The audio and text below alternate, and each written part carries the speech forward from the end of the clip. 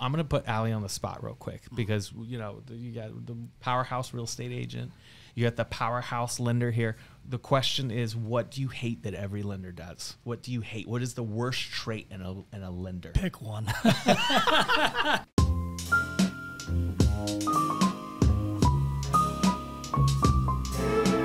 Hey, it's time for another hashtag closing day podcast where we interview some of the top performers. I'm talking about beasts in real estate that know the importance of how to close a deal.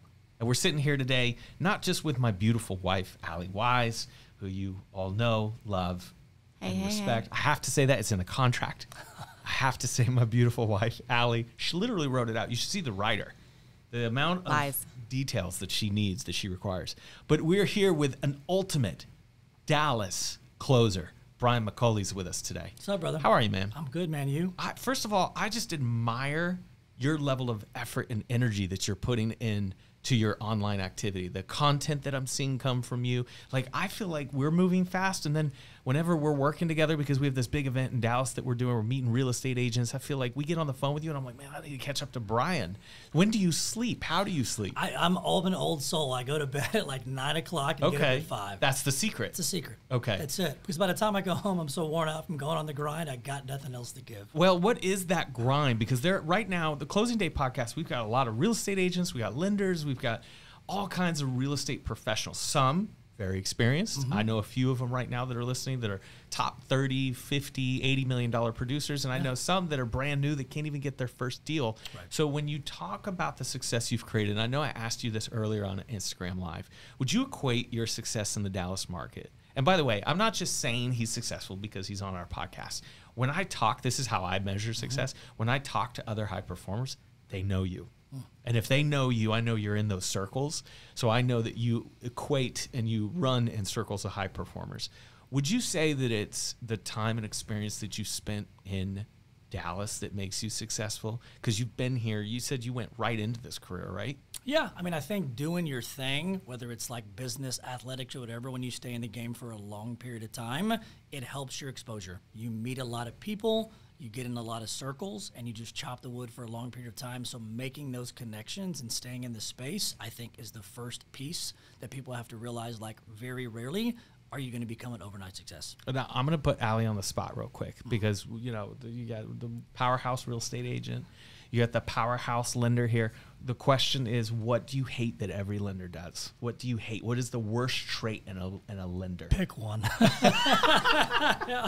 got a list this long. We should do uh, where you write it down and then I read and see if you have the same one. Yeah. What is the worst thing that a lender does? Well, this is really actually a difficult question because Brian works for a company that has a very high level of standards with something that's super important to me. Yeah. So I know that this is something that Brian specifically doesn't do. Yeah. That I have experience with a handful. 'Kay. Like many. I just want so it's like if there's some new if there's some new entrepreneurs listening, I want them to hear the bad experiences and then how Brian has transformed his career. So can you give me some examples?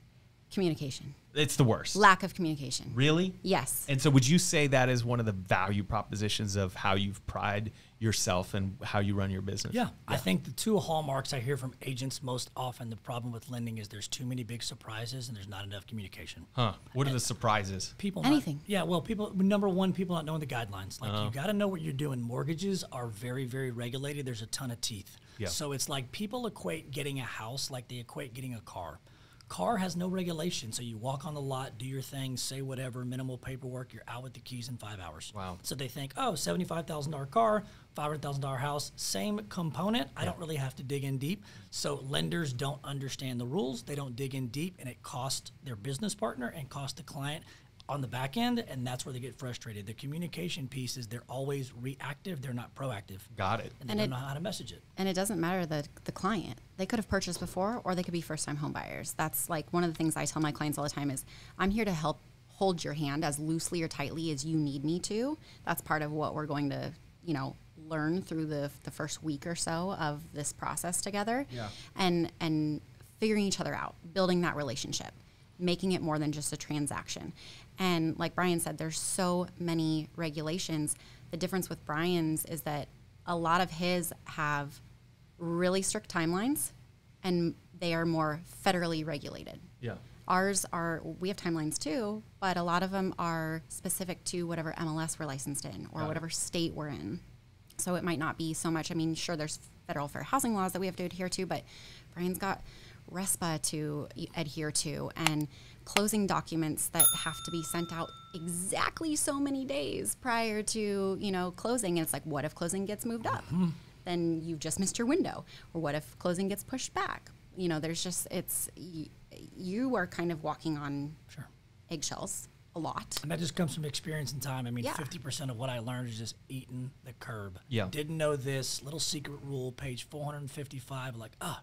And you learn that and you break your own heart and you break their heart. And then over time, you're almost kind of like, for a good analogy, like a, an attorney. Like they learn the law through and through. They learn the interpretations, the dark spots, the spirit, and the way to work through it. Loan guidelines are similar. And what happens is you have to know the rules first so you don't stub your toe. Love it. Then you got to communicate.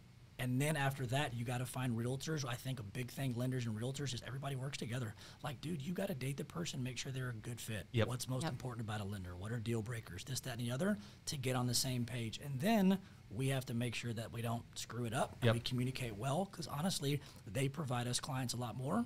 And those good partnerships are unbreakable and they're awesome, but you just got to be authentic and upfront just to protect because I mean, like she mentioned, they're federal. So you're moving from, in theory, Wells the Bank of America, whatever. The rules aren't changing.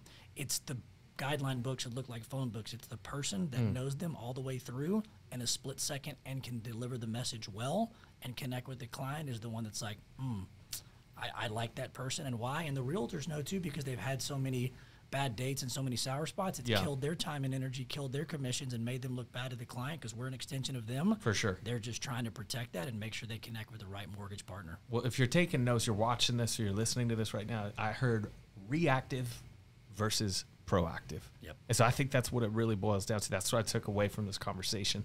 So I'm glad I could set it up. Now I'm going to put you on the spot. Are you ready? Let's do it, yep. What do you hate about working with agents? What do, what are agents' bad habits? I know you and I were talking about Atomic Habits, where we Mm-hmm. both read that book. You listen to the podcast. What habits do agents have that if they're listed, they're a young agent right now, or maybe they're experienced and they do this? Yeah. Like, what what advice would you give to agents on working with lenders? I could name a couple I'm probably guilty of. Sure. yeah, yeah. yeah. I Do mean, it. it's it's it varies per person. I would say if I'm doing a general piece of it, it's just that my preference is for my realtor partners to not skip steps on the pre-approval pr- process. Okay. That's the one thing, right? It's you don't want to skip steps. When you skip steps, there usually ends up being blood. Hmm. And lenders only like pull you back and say, oh, "I'm not sure about the self-employed person stuff here and there." Not because we just don't want to check the box and roll too.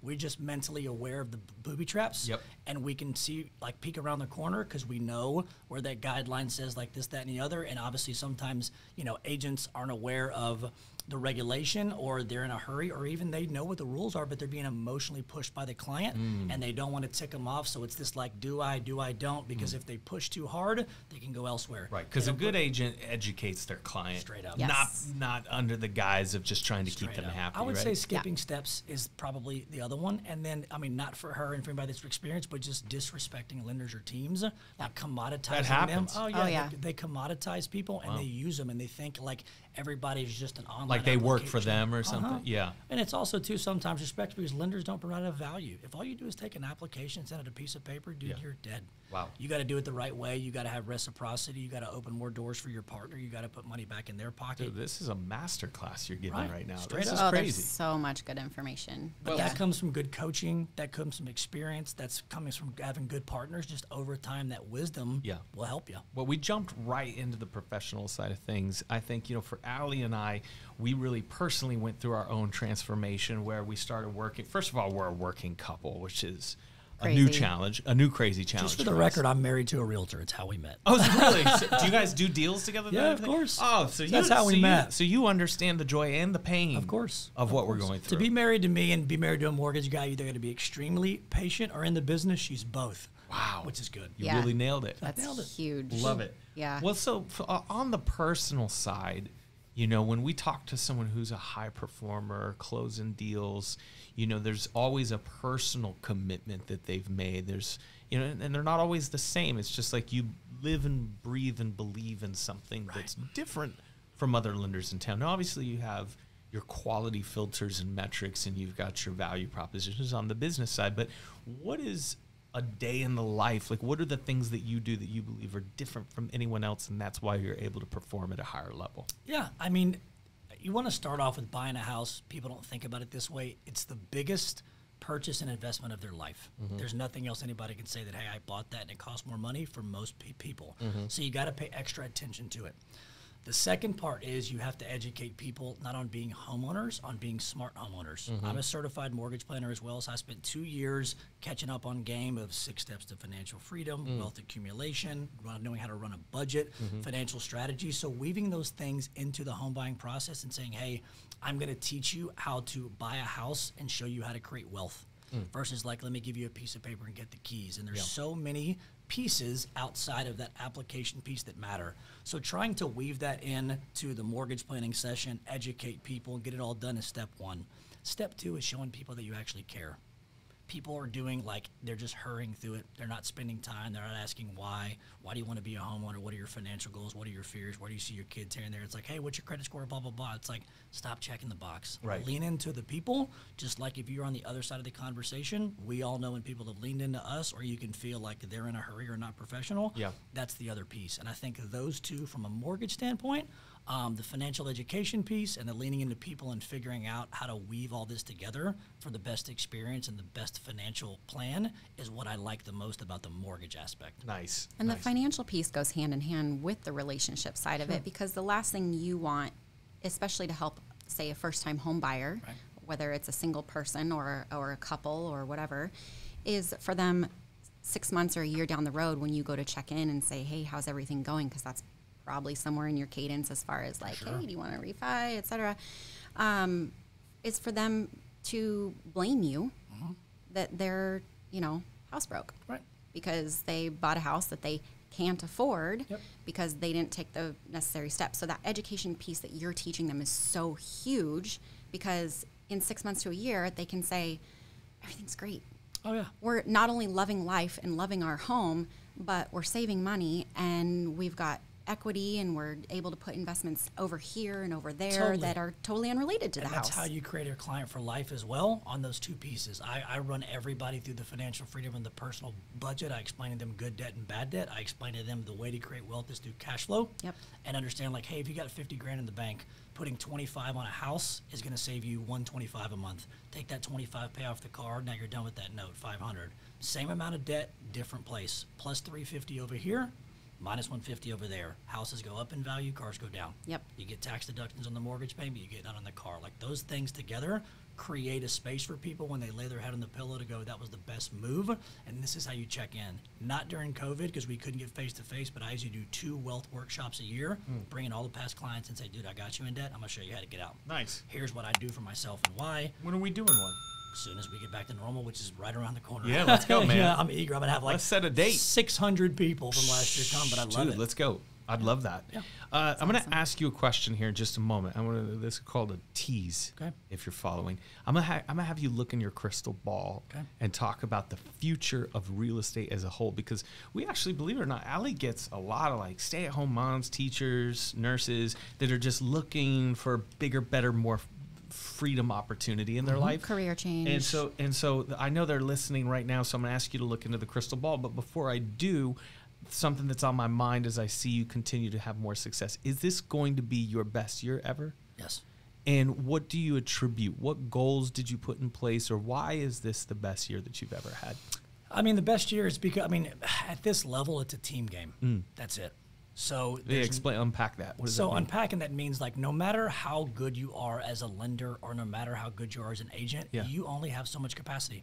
There are only so many hours in the day. You can be the literally number one in the world, but you can't touch a ten person team. Wow. You can't touch a fifty person team. Yeah. Um, it's, How do you know, do a lender right now listening, agent right now listening? uh, I got nobody. How did they? How did they get there? Yeah, I mean, I, I think you can talk to professional people like y'all. You can talk professional coaches. Everybody has a metric saying like, hey, when you close this many deals, this is where you kind of weave in a teammate. Mm-hmm. You got to figure out too. One of the things that lenders and realtors are really, really bad at is highest and best use of time. Mm. They're very busy, but they're not productive. Mm. If they make hundred dollars an hour, everything you do that's not hundred dollars an hour, you hire somebody. Gotcha. So if you're doing marketing flyers and dropping escrow checks off, like cool, but if that eats up three of your hours a day, like no, no, no. you're in sales, do sales stuff, Yeah. prospect here and there, and so they start to break out roles and responsibilities. Got it. Hire accordingly. And then as you get bigger, people start to cross train. So it's like karate. I teach you karate, you teach her karate, and then the people start coming to the dojo. That's the way to do of it. That's it. That's it. That's why the team game's good, but people go out of town, they get sick here and there. You got such a deep dugout Yeah. and a good energy of people. That's Yeah. how you replicate. I love So that true. philosophy. It's such a great philosophy. So here's the big question then. Where is the future of real estate? And is it a good time? Are we still in the early phases or is it already too saturated and there's no chance somebody should get into real estate? No, they can get in. I mean, the, the, the, the good side and the downside to lending and being an agent is there are really no high standards to get in. So you don't have to go to medical school or law school for four years, so it doesn't discourage people like, man, that's a hard road to get in. Mm-hmm. So people like her that are built for it and born for it, the barriers of entry are low, so they can get in and kick the doors open. Yeah. So if somebody's serious about it and they want a career out of it, Yeah. anyone can get in, and then it just becomes a competition of like, get on the field, let me see your stuff, let me do your personal branding, let me get it going, Mm, Yeah. because the market is the market. If you want to be a hobbyist and do it part time, that's available as well. Yeah. But no, I think it's a, it's a business and an industry that's constantly open to growth, and it's constantly like real estate and lending is like fitness. If you want to go seven days a week and go all in, hard in the paint, eat Yeah. everything, it'll pay you back. There's no restriction, but you got to be willing to do it, and it because it's a lot harder than people think. That turnover is very high. It flushes people out. Yeah. So the top people usually stay at the top and keep going. Eventually, people work their way up, but there's always room for people to get in when they're ready. I love that advice. And then I'm going to ask a question on Ali's behalf. She's in Florida, she's in Arizona, she's in Oregon, Washington. She's going to get that license in Texas. Now, let's say she's got two team members right now in Texas. She's going to move here in January. You own this market. Anyone in Dallas knows who you are. You've probably worked with thousands of agents at this point. The question for Ali is what is, as Wise Property Group comes into Texas, Right. What's the first move as we come into a, a market that's moving so fast? What, how do we build equity in a market like this? What's the first How do we kick the door open before we're actually here? Yeah, I think two things, right? Finding a business partner that's here and local that already has those tentacles and connections with builders, CPAs, mm-hmm. clients here and there, like myself, will be a mm-hmm. jump start, right? well, we're off to a good start. Right. I think where you guys decide to live and end up putting your stake in the ground is a big piece. Yeah. Your neighbors will like you. you we were just talking about that. energy. Yeah. Where do we where do we move? Right. It's a big deal. I see a lot of people have success in their own backyard Yeah. because they're likable. People relate to them. The kids are playing. Get right? in the churches. Is that what you're saying? Yeah, get, in all of there. them. Yeah. Get in there, shake Yeah. hands, see your people, see what's up. But I think networking with people that are already local Huge. here and they like you and Yeah. trust you, they get you off to a jump start quicker. Just like if I was going to y'all's backyard and say, "Hey, I know how to do a mortgage and talk to people, but I don't know where to start," and I Right. would say, "Give me your top ten hit list on how to jump start it to get it going For sure. organically." That would be the best piece of advice from the jump. Love it, man. What's the Instagram for anybody that wants more advice, more wisdom? I know you spit a lot of wisdom on your Instagram. Where should they follow you? At Dallas Mortgage Man. at Dallas Mortgage Man. If you don't follow him, it's a disservice. So make sure that you go follow, make sure that you like and comment, reach out, say hi, especially hashtag Dallas Realtors. If you don't know him, you need to know him. Get more business done and get it done with somebody that knows the regulation, understands the process. He doesn't just have the experience, but he's also got the communication, which Ali says is really Huge. important. Huge. So he's got it. Thank you very much, brother. Appreciate it, man. Thank you so much. Absolutely. Good to see Um, you guys. Ali, I have to say this before we close, is the most beautiful, successful wife, and I love her. And uh, we're gonna have more. This is babies. not in the contract. No? He just